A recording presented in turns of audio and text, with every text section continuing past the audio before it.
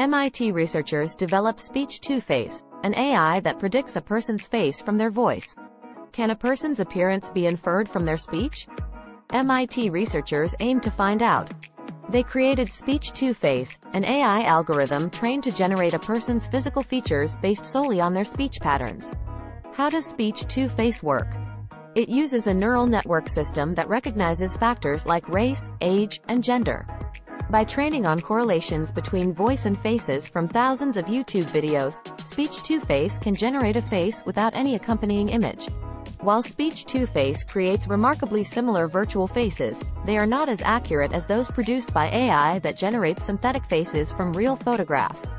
Speech2Face's goal is to recreate the physical traits associated with speech.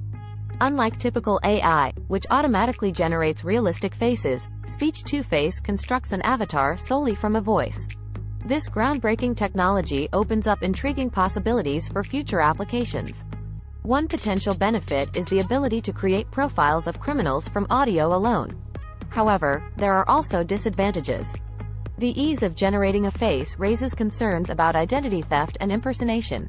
Nonetheless, the emergence of this trained AI marks a significant technological advancement. You can find more information about the project at speech2face.github.io. Thanks for watching. Please consider subscribing to support independent news.